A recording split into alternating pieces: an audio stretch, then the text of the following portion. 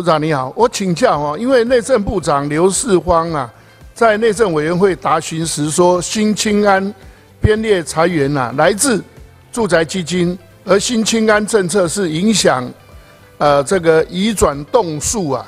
重大的因素，可能影响房价的升高。啊，刘部长表示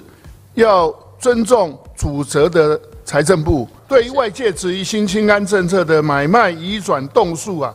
直接推升房价，那我请问部长，你认为新青安贷款是不是房价居高不下的元凶，是吗？呃，房价呃变动或者升呃调呃上涨，其实因素很多。所以说你认为不是嘛？是不是？对，不是主要因素，因为各种因素都很多，比如说原呃原物料的上涨，哈，我们知道刚呃原物料的上涨或者工资的上涨。还有对房价的预期心理等等因素，还有公共建设的一些到位，那民众认为会在这个地方买。新青安推出以后，呃，第一个我们已经又在做了进一步的调整，也就是在呃我们六月二十七日开始限贷一次。也就是说，你用了一次以后就不能再用，你要珍惜使用这个新青安，这是这个部分。那另外呢，也请公股行库能够加强的呃贷前的审核，强化贷前审核以及贷后的管理。第二个，就新青安是帮助没有自有住宅的人去买，我知道但是不能让他买了以后就是想要去做投机投资，所以只能限一次。而且对于出租或者用人头户加强检核。